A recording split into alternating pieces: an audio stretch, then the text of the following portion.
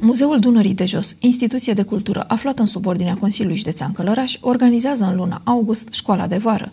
Acest proiect, început în anul 2018, este parte a programului de pedagogie muzeală și urmărește câteva obiective importante.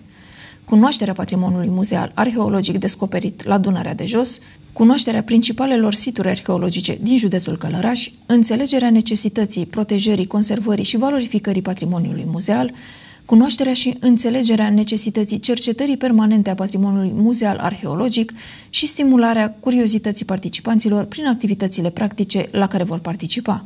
Astfel, la secția arheologie, în perioadele 10-14 august și 17-21 august, participanții vor avea următorul program în intervalul orar 10-12. Cunoașterea patrimoniului muzeal, introducere în arheologie, aplicații practice, activități de conservare preventivă, atelier de desen, atelier de modelat în lut. Prețul de participare este de 2 lei de persoană pe zi, iar grupurile vor cuprinde maxim 10 persoane cu vârste cuprinse între 7 și 12 ani.